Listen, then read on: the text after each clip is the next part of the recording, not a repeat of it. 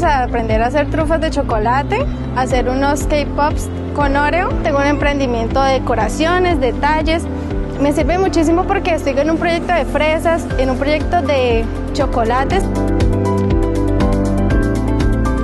Estamos realizando los talleres de emprendimiento con las mujeres lideresas con madres cabezas de familia, con mujeres en condición de discapacidad, con la finalidad de brindar un emprendimiento y un empoderamiento económico a las mujeres del departamento de Santander. Gobernador Mauricio Aguilar, le damos muchas gracias por esta oportunidad, por este emprendimiento que tiene para cada mujer.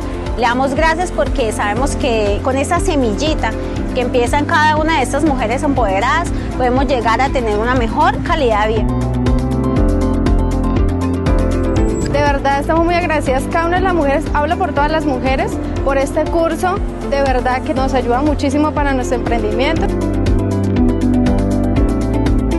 Estamos dinamizando y reactivando la economía de las mujeres santanderianas. Es por ello que todas las semanas tenemos talleres de emprendimiento.